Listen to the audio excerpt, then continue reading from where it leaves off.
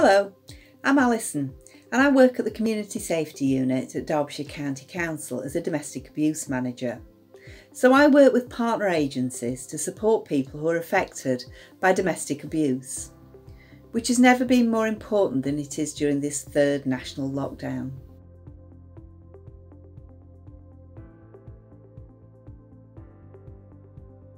But despite that stay at home message, if people are suffering from domestic abuse, it is one of the reasons they can leave for their own or their family's safety.